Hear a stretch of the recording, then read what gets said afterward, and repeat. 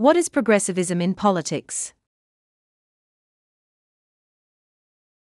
In politics, progressivism refers to a political and social reform movement that brought major changes to politics and government, particularly in the United States, during the first two decades of the 20th century. In fact, the progressive reformers made the first comprehensive effort within the American context to address the problems that arose with the emergence of a modern urban and industrial society. The progressive movement accommodated a diverse array of reformers, such as insurgent Republican officeholders, disaffected Democrats, journalists, academics, social workers, and other activists, who formed new organizations and institutions with the common objective of strengthening the national government and making it more responsive to popular economic, social, and political demands. Many progressives viewed themselves as principled reformers at a critical juncture of American history. Above all else, the progressives sought to come to terms with the extreme concentration of wealth among a tiny elite and the enormous economic and political power of the giant trusts, which they saw as uncontrolled and irresponsible. Those industrial combinations created the perception that opportunities were not equally available in the United States and that growing corporate power threatened the freedom of individuals to earn a living.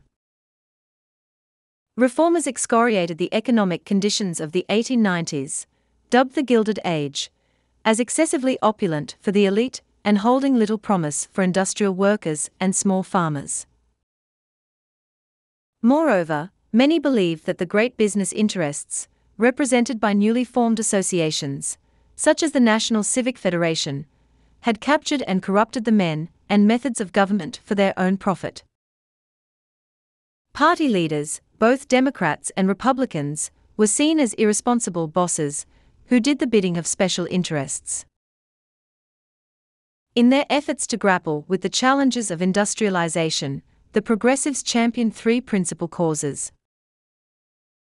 First, they promoted a new governing philosophy that placed less emphasis on rights especially when invoked in defense of big business, and stressed collective responsibilities and duties.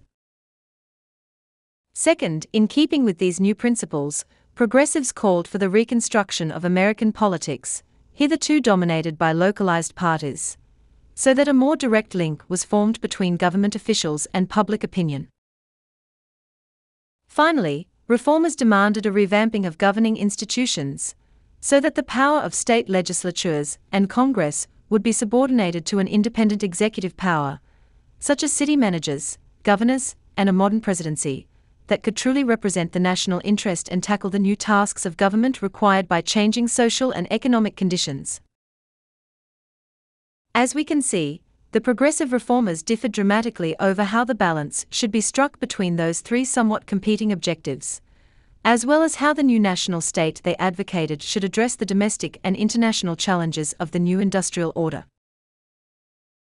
But they tended to agree that those were the most important battles that had to be fought in order to bring about a democratic revival.